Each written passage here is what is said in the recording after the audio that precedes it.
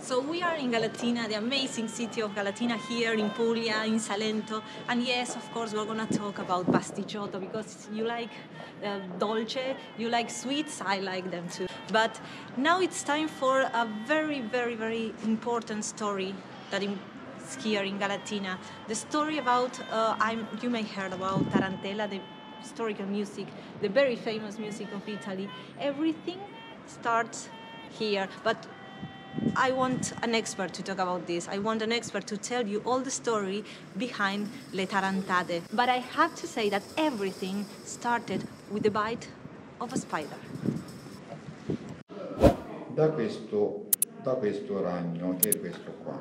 Per incominciare questo è sempre un aracnoide, però praticamente appartiene al genere tarantole. Si pensa che questo sia velenoso, mentre questo è completamente innocuo. Come altri animali del genere va in letargo e poi nelle stagioni estive esce fuori e si posiziona sui campi. Una donna facilmente andata in campagna nel raccogliere le cose poteva essere morsa. Ragno innocuo. Solamente la paura accumulata nel, nei secoli perché le mamme raccontano alle figlie stai, state attente a due cose principalmente, all'uomo e alla tarantola. Quindi queste povere criste nel momento in cui venivano morse andavano in una escandescenza che si manifestava sotto forma di trans.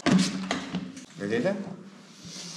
L'unico modo per poter eh, diciamo, superare questa crisi e farle ritornare allo stato normale non era la medicina, ma era la musica. Veniva suonata da gente locale, gente del posto che sapeva scimpellare, che sapeva suonare. Cosa facevano questi, questi, questi signori? Qua ci stanno eh, sette nastrini, vedete? sono sette, che corrispondono ai sette colori del ragno, il corpo nero e poi c'ha delle macchie, che in questo caso sono rosse, però potrebbero essere verdi, gialli. Li mettevano in mano a questa donna che stava in condizioni pietose per terra. Questi nastri corrispondono alle sette note musicali. Quindi quando una donna andava a prendere eh, il rosso, dicevano, beh, ha preso il do le quattro persone che generalmente compo- eh, componevano questa orchestrina, che era tamburello, infatti se notate bene i, i tamburelli hanno quattro queste strisce che pendono, è come se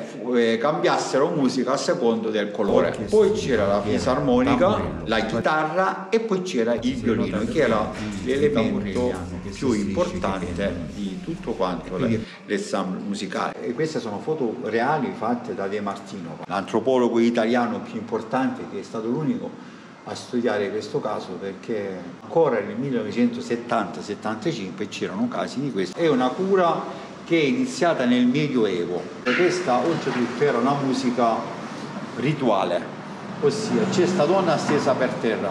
Quello che vedete qui intorno è un lenzuolo. Quello era una specie di cerchio magico dove il diavolo che era entrato nel suo corpo, nel momento in cui usciva, non allargava il suo, il suo, potere a tutti quanti i partecipanti, restava nel cerchio. Questo signore sta suonando, stanno asciugando le, la fronte. Quindi questa è la dimostrazione che la musica doveva essere continua, non si doveva interrompere e poteva andare avanti per eh, ore, ore, ore, ore, addirittura per giorni interi. Questi dovevano continuare a suonare finché la donna incominciava prima ad alzare le gambe, quello era un segno diciamo che si stavano ricostituendo. E poi si alzava in piedi e sotto l'effetto della musica questa donna praticamente ballava e ballava fino, fino a prima la donna che nel suo diciamo, inconscio crede che, i ragni stanno, che il ragno sta uscendo dal suo corpo e lo vuole calpestare. Quindi facendo questa posizione qua, le cose di calpestare, finisce Attenzione. che diventa un ballo o che viene visto come un ballo e che è praticamente la pizzica. Dai canti popolari si è arrivati alla pizzica che è stata musicata da, eh, da musicisti molto molto bravi e quindi di conseguenza La pizzica è diventato un fenomeno adesso a livello mondiale. La Chiesa diceva sì, però cosa succede? Succede che se tu domani mattina vai in campo e trovi un'altra di questi animali che ti, che ti morde, tu ti prendi da capo la possessione e ricominci da capo. Beh, a questo punto che cosa si può fare? Devi venire a Galatina perché praticamente devi chiedere la grazia a San Paolo, il protettore del, dei morsi eh, da serpi, tarantole e via dicendo. Come per esempio c'è un altro santuario che, che è quello di San Rocco a, a Torre Paduli, dove lì si va quando sei morso dai cani o quando hai una malattia, eh, la, le malattie delle pelle, per cui diciamo che ogni malattia aveva il suo santuario. Le malattie si curavano tramite i santi e non tramite i medici perché i medici erano diciamo, riservati solamente ai ricchi. Fatevi il conto, in ogni paese c'erano almeno due o tre casi, eccetto Galatina, perché guarda caso, siccome Galatina c'era il protettore San Piero e San Paolo, allora i galatinesi se ne sono sempre strafregati delle tarantole, per cui se una, taranta, eh, una tarantola pungeva un galatinese, diceva, via, da ogni paese partivano e arrivavano a Galatina. Allora, fai, fai con 90 paesi, allora a questo punto la musica non c'entrava più, la musica l'avevano già fatta a casa loro. Questa qua, vedete, tutta la gente che, sta, che vuole assistere a questo strano fenomeno. C'era soltanto un altro piccolo problema, che tutto questo che stiamo dicendo non è altro che la cosiddetta fake news, grande, enorme bugia su cui hanno campato tanti. Prima di tutto perché San Paolo da Galatina non c'è mai passato. Chi invece è passato di qua è stato San Pietro. Venendo dalla Grecia era la via più naturale per arrivare per andare a Roma. Pare che si sia fermato a Galatina nella cattedrale c'è una pietra dove lui si è sì. seduto e via dicendo, e quindi questa pietra è considerata pure miracolosa. Fatto sta che su San Pietro praticamente viene a Galatina, viene accolto da, da, una famiglia e resta qualche giorno qua a Galatina. Prima di andarsene dice vi voglio lasciare un mio dono, questa però è una leggenda. Io sputo nel pozzo che avete in casa. Questo pozzo col mio sputo diventerà miracoloso e tutte quante le donne che nasceranno da questa famiglia e che andranno avanti nel tempo avranno lo sputo, loro sputo miracoloso che farà, sarà un medicinale. Tutta la gente eh, venivano già da prima a Galatina quando avevano qualche problema di morsi o di ferite che si stavano macerando che la medicina non c'era, venivano presso queste case. E le donne di queste case praticamente erano come se fossero dei medici, delle cose, facevano una bottiglia di eh, terra, terra rossa, sì. loro sputo, l'acqua del pozzo, facevano una specie di polpetta, la applicavano sulla, sulla, pelle e li mandavano contenti a casa. Poi il giorno dopo se questo moriva o non moriva non ci interessa. Però tutta questa storia finisce quando nel 1760 Va il prete della cattedrale a queste due uniche sorelle che erano rimaste e, e dice, ma voi che state facendo? Dice, quello che abbiamo fatto sempre. Dice, no, voi siete delle streghe, perché l'unico che può curare eh, queste malattie è solamente San Paolo. Questi neanche sapevano chi fosse San Paolo. Dice, a questo punto già siete fortunati che come streghe non vi hanno messo sul rogo. Questi chiaramente, queste poveri sverziate già anziane, vecchie, non avevano figli neanche. Dice, va bene, che cosa possiamo fare? Dice, guarda, io vi posso dire tante preghiere, ma ce ne vogliono tante. Voi lasciatemi le case, eh, le case, che io vi dirò tante di quelle preghiere, tante di quelle cose, per cui voi sicuramente andrete in paradiso. A questo punto queste donne accettano e è stato ritrovato prima diciamo nella cattedrale di Galatina un atto notarile con cui praticamente acquista da queste donne questa casa.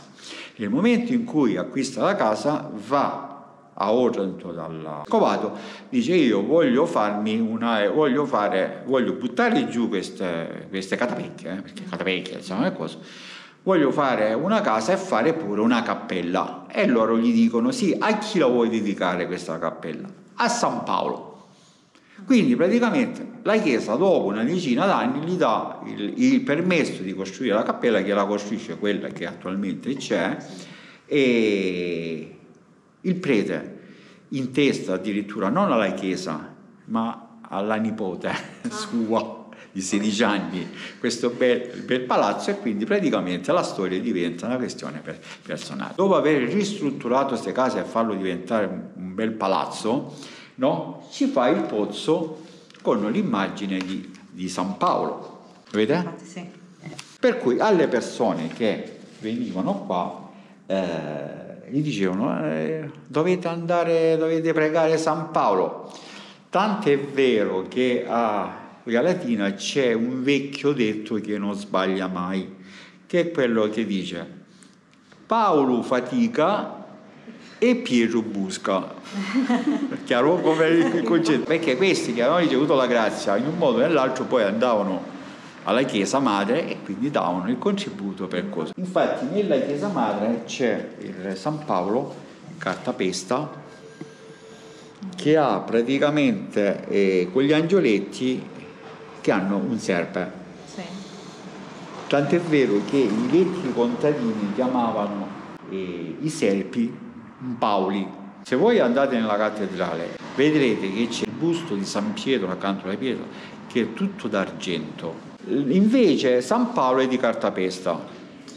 Questo sta a significare che mentre San Pietro era il santo dei ricchi galatinesi, perché qua erano tutti nobili, basta vedere, farsi in giro per i palazzi e vedere, sono 70, 70 palazzi nobiliari. San Paolo era eh, il protettore dei, dei, dei, poveretti, dei contadini.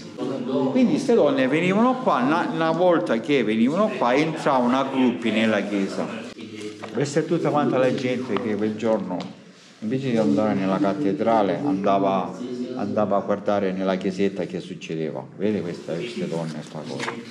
Vede queste donne, molto erano anziane pure, eh, perché poi era un atto di devozione. Ecco, vede?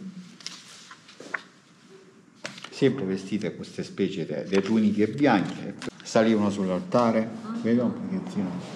Nella piazza si rotolavano, vede? Mm. Si rotolavano, ballavano, sempre senza musica, vede qua? Mm, sì. Queste donne se trovavano qualche persona, maschio o donna che fosse, con qualcuno di questi colori, mm. c'era il rischio che le scappassero. Poi una volta fatti questi giri, stazione massima, andavano pozzo, vicino al pozzo che sta accanto alla chiesa. Quello era, era chiamato o pozzo miracoloso o pozzo dei serpi. Perché siccome quella è una cisterna, quindi un raccoglitore di acqua, e chiaramente l'acqua si deve muovere, gli antichi eh, ci mettevano le anguille, per cui qualche volta succedeva che tirando il secchio c'era qualche anguilla che spuntava dalla cosa. Allora a questo punto, miracolo, miracolo, miracolo, sto vedendo San Paolo, sto vedendo San Paolo e si spargeva la voce che stavano vedendo San Paolo, perché San Paolo si mostrava secondo loro sotto, sotto forma di serpe, quasi sempre o perché l'acqua era cattiva, loro rimettevano, nel momento in cui rimettevano quest'acqua, questa cosa qua, si erano liberate definitivamente dalla ragno. L'ultima cosa che gli rimaneva da fare era quella di girare per, per, le bancarelle e prendersi questi nastri. Si mettevano sul letto di casa. Se la notte passava il ragno o, o passava cosa, cioè, qua non posso arrivarci perché non tutti erano malati, c'erano quelle che se dovevano andare in matrimonio a qualcuno perché il genitore diceva e tu devi andare lì perché c'è un contratto di matrimonio e questo magari non lo voleva, cominciava a fare la pazza, cominciava a fare la tarantata, per cui chi la doveva sposare diceva no. Arrivederci, non Siamo intelligenti, vedi, da sempre, da sempre. Vabbè, e questa è la storia. Yes. I'm obsessed with this story. I mean, we are like this. It's amazing coming here and talking to people, talking to locals that they really know the story. They are experts. And here from Galatina, we want to invite you to come to Puglia. It's a magical land. I mean, uh, look how many stories you can find. Just come here, drink a coffee, look this amazing piazza here in Galatina, talk with local people. So you can come here and meet also Gianfranco that knows a lot about, as you heard, knows a lot about the Taranta and this amazing story of uh, La Taranta. So here we have the, I, I have to take it with me to my home and uh, read it properly at home and uh, you can come here you can visit him and also you can find uh, his book online. Uh, there's a link below that you can find this book uh, online. So you can also know the proper story of Letaran so that's what we want to transmit with these videos. So you're invited come dive into the story of Galatina of all Puglia and discover that you can also live la dolce vita mulher do meu, né? Tem puta, gado da mulher né?